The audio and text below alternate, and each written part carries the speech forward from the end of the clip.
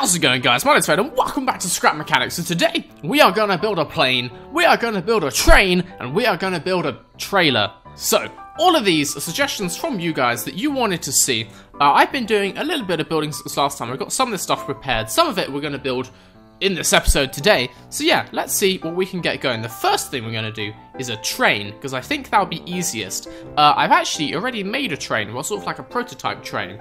It's out it's over towards the edge of the map, so let's just get in my car thing here. Let's drive out and I'll show you. Come on, Mr. Truck. You work much better when you're the right way up. You can see that since last time, I have actually like deleted some stuff. I had my uh, monorail testing thing. I've deleted that because that has like turned into uh, the train thing. And I've deleted some of the vehicles I made last time, some of the more crappy ones. But anyway, over in this corner of the map is my train testing area. Okay, let's just park this thing here, nice and out the way. Jesus, the game is running slowly. Okay, so here we have my train. It's not, uh, it doesn't look too much like a train. Basically, what we've got is, it's a plank, and it's got these four wheels, which are actually connected to the engine, so that when we press forward, these ones turn.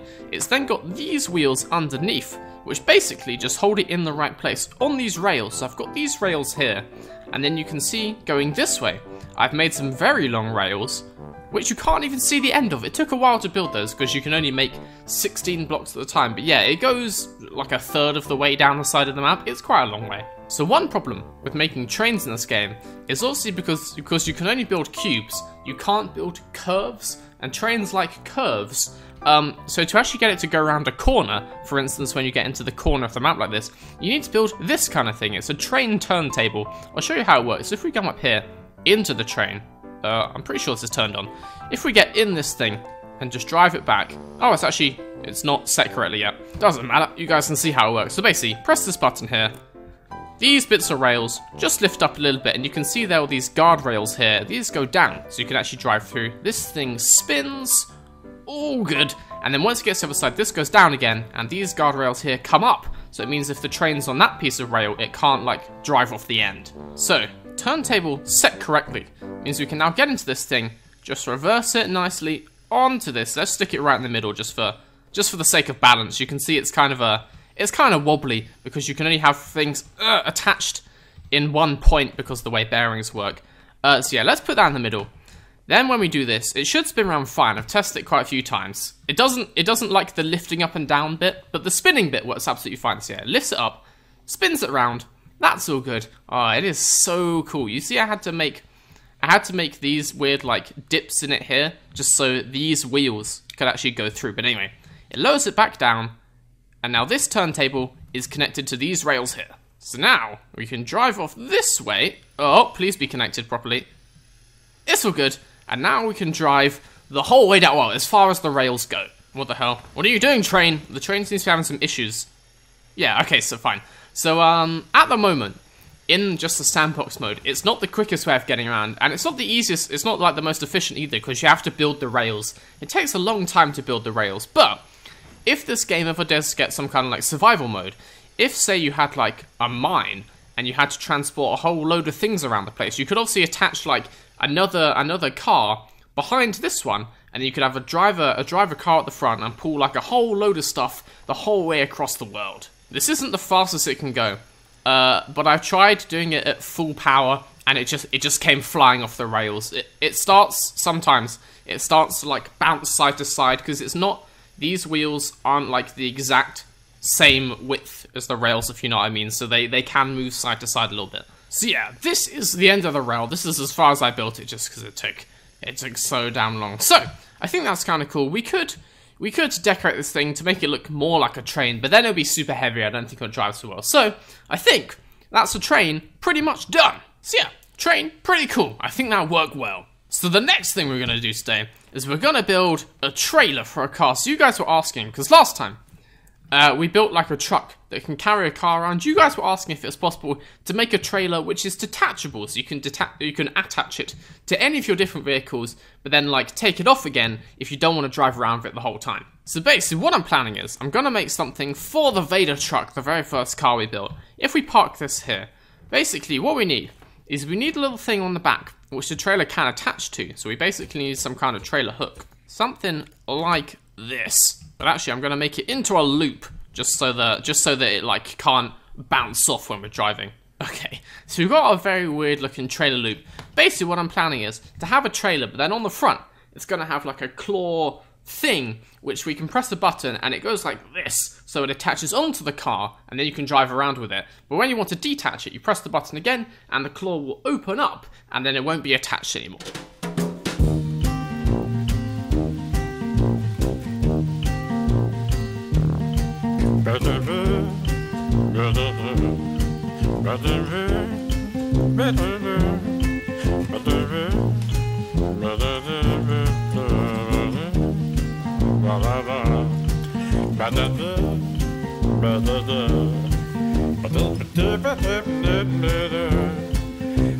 Okay, so we got our trailer thing with a hook on the end. Obviously, the trailer uh, is not it's not very big at the moment, but we can obviously make it bigger once we know that it works. So, I've got this hook thing attached to this controller. When we press this button, you can see it's currently closed.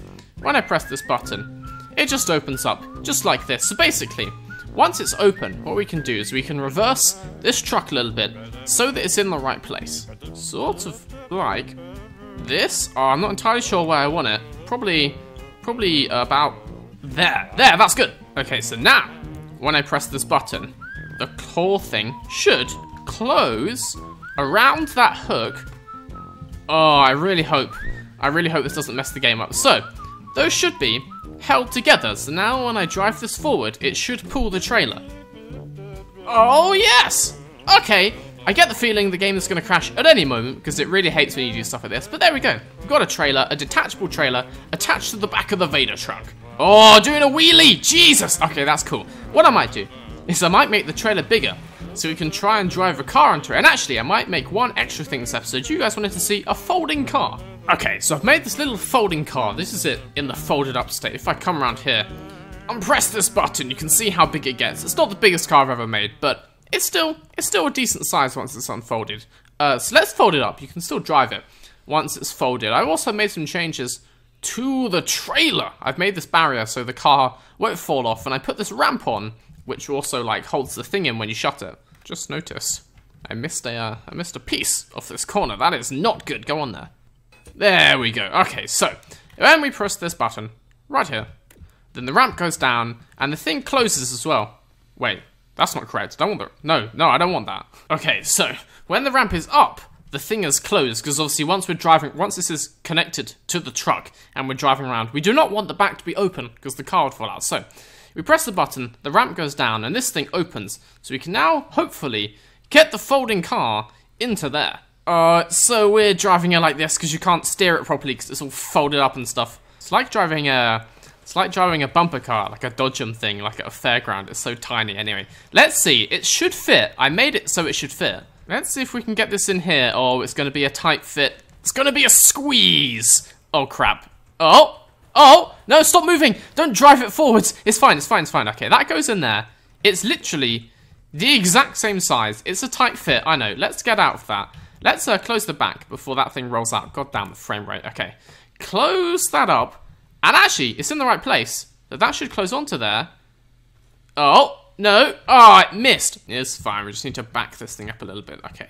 Let's get this in the right place. So now we should be able to attach the trailer to the truck and drive our little folding car around the place, but it also means if we don't want to, we can detach the trailer and it doesn't have to be connected to the Vader truck. Okay, so trailers done, trains done. There's only one more thing to build today, and that's planes. Okay, time to build a plane. I've moved away uh, from my base a little bit, just so hopefully the game will run a bit faster. I think this is a nice flat, open, grassy area. This should be good, so let's put down one of these things. Let's start building a plane. Basically, this game doesn't have wings, so you can't make a plane which flies like a plane actually does, because you can't have lift and stuff. The only way to get something to be in the air is to put loads of rockets on the bottom and just blast it upwards. So basically what we need to make is a big, just a big like wooden platform. We want it to be made out of wood because that's the lightest material. Well, wooden, the like this this yellow and black stuff is really light as well. So we'll make it out of wood. We'll put some some rockets on the bottom to push it upwards, and then we'll just put some rockets on the back to push it forwards. Okay, so this is just a very, very basic concept, which hopefully, hopefully will fly. So, we need to get a way to be able to drive the jet engines from the seat. So you guys have told me if I connect a seat to a controller and then a controller to the um the rockets, I can fire the rockets using the number keys. I'm gonna see if that's actually true. Why no? That is in fact not true. Oh, I think I figured out how to do it. Okay, so you don't connect the seat to a controller, you connect the seat to a switch, and then hopefully, please dear God, let this work. No, get get rid of that one. Get. Oh, the game is running so terribly. It's so fucking. Like, I'm getting this thing where I can't even place blocks. Look, it's not giving me the choice. To, oh, there we go. There we go. Let's detach the whole thing. Let's get in the seat, and now one. Ooh, okay. It's just a toggle. I thought you'd hold it down. It just toggles it. Interesting. Well, it's good at it's good at barrel rolls. I think we need to move the thrusters at the front back because it's back flipping. So if we, yeah, I think we need to move the front ones backwards. Okay, let's try this. Turn the thrusters on. Oh, it's going, it goes pretty much straight upwards. And now the ones at the back are just connected to the driver's seat. So when I press W, those go. Okay, so this is basically how you make some kind of air vehicle. Now we just need to balance it. Okay, that seems to be going pretty much straight upwards when we press 1. So now when we press W, ooh, ooh, that's not good. What the hell? Why is it going sideways? Oh god, what happens when you hit the edge of the... Okay, there's a wall. Okay, that makes sense. Okay, let's try this. Oh, that's looking pretty... Wait. Why is it flipping? I think it's just basically if it doesn't start on flat ground, then you have a really bad time. So, that's going alright. I think I think we got it pretty well balanced. Now, uh, we need a way we can actually steer it. So I read online that you can steer you can steer an air vehicle with wheels, basically just by having spinning wheels, I guess like a gyroscope effect, uh, you can use that to, to steer a thing. So I don't know, maybe if you just put a wheel on all four corners and then see see how well that works. So I'm just going to connect the wheels straight to the steering wheel, which should mean they spin when I press uh, A and D, like left and right. If we have them alternating, as in, uh, let's flip... Actually, they are alternating. Look, this one's said to spin backwards, and this one spins forwards. So now when I press A and D, the wheels should all spin in opposite directions. Wait, what the hell? Oh, they don't spin that much. Oh, yeah, because I'm just... Oh, okay, fine. Okay, let's stick an engine on this thing. Let's actually stick two engines on, just to balance it, but we're only going to use one of them. So if we connect this to there, and then this to the wheel. So now what should happen is, when I press W, the wheels all spin in alternate directions. You see those two are spinning the opposite to each other, and the same on this side, they're spinning the opposite ways. I hopefully that means we can steer it. Okay, let's try this thing. Up in the air. Well, it definitely seems more stable. Okay, let's try going forwards.